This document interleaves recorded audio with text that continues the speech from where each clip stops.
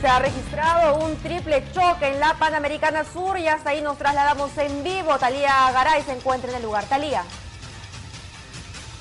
¿Qué tal, Mabel? En este momento observamos que el furgón, uno de los vehículos que ha terminado accidentado y volcado aquí en el kilómetro 6 de la Panamericana Sur, está siendo remolcado. Lo que ha ocurrido es que iba un auto eh, en dirección de, de, norte a sur y este auto al parecer venía a excesiva velocidad e impactó contra la parte posterior de este furgón. Podemos ver ahí el lugar exacto del impacto y producto de ello, el conductor de esta furgoneta perdió el equilibrio y terminó volcándose hacia la parte izquierda de la vía. Y como podemos observar, aproximadamente una tonelada de fruta, exactamente piña, es lo que ha terminado regado aquí en la pista. Ya el eh, encargado del furgón junto a su acompañante de trabajador nos ha indicado que se iba para San Juan de Miraflores, específicamente para un centro de acopio. Vamos a ir por este lado, por favor, porque es también este vehículo el que vendría, había, se habría dirigido a excesiva velocidad,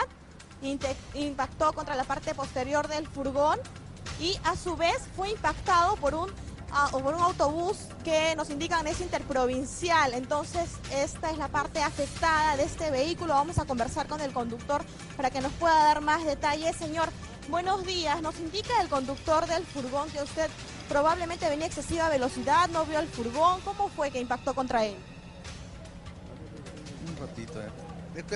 Bien, entonces, eh, bueno, lo que pasa es que entendemos por qué el señor, como ha sido un impacto tan fuerte, él venía aquí en la parte del conductor, el golpe ha sido muy fuerte y en algunos momentos también va a ser atendido por los bomberos. Pero veamos, esta es la parte que impactó contra el furgón y al momento del impacto por alcance terminó siendo impactado por el bus interprovincial que ya se encuentra metros más adelante. Cabe resaltar que aquí en el en este, en este bus interprovincial no habían pasajeros y afortunadamente no hay muchas personas eh, perjudicadas por este tema. Y ya aproximadamente son dos, eh, dos cuadras, dos a tres cuadras las que se habían cerrado el paso porque se estaban realizando los trabajos aquí, pero vemos que ya la policía ha habilitado uno de los seis carriles aquí en la Panamericana Sur, comienzan a pasar con lentitud los camiones de carga pesada que en este momento llevan pues precisamente la mercadería a distintos eh, centros de acopio. Sin embargo, hay conductores de autos particulares que sí están utilizando la vía auxiliar. Es decir,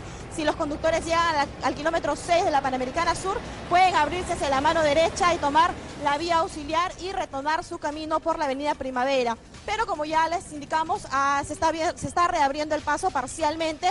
Son ya dos carriles en este momento los que se están habilitando para que puedan transitar con normalidad los vehículos hasta que, claro, ¿no? Se terminen de eh, retirar con las grúas el furgón y también el auto que todavía permanecen aquí en este lugar. Bien, Talía, lo que de verdad sorprende es que el conductor del vehículo esté en pie. Felizmente no ha sido nada grave porque el choque que vemos, cómo ha quedado el auto, la verdad, por detrás y por delante ha podido causar mayores daños felizmente es un día feriado, así que en teoría el día de hoy no deberían haber tantos vehículos circulando por la calle, así que esperemos pues que no se presenten más accidentes como este, ni que este perjudique mayormente el tránsito.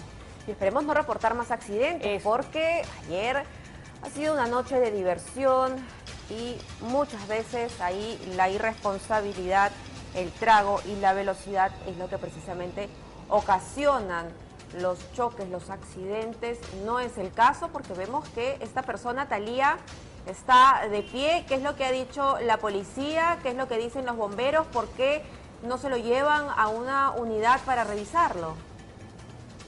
Sí, indicarte que esta persona, el conductor de este auto, venía acompañado de una persona aparentemente familiar suyo y es esta persona la que ha sido trasladada de inmediato porque es la persona que tenía mayores golpes. Él tiene algunos golpes porque afortunadamente llevaba el cinturón de seguridad, sin embargo ha indicado que desea no ser atendido por los bomberos. Él está viendo el tema en este momento de la aseguradora para que puedan venir a recoger su vehículo. El impacto nos comentaba el bombero que afortunadamente no eh, chocó o no comprometió la parte del balón de gas. Entonces fueron por centímetros en realidad que este accidente no terminó en algo peor. Son daños materiales que obviamente eh, esperemos que la aseguradora, el conductor, pueda hacerse cargo, ¿no? Ya seguro van a determinar las demás diligencias de la policía, cómo es que ocurrió este accidente y determinar también las responsabilidades. Bien, Talía. Por favor, repítenos la ubicación exacta. Esto es en el distrito de Surco, si no me equivoco. Sí, estamos ubicados en el kilómetro 6 de la Panamericana Sur. El tránsito se está reabriendo hacia la mano derecha por la vía auxiliar. Bien, Talía, gracias por la información.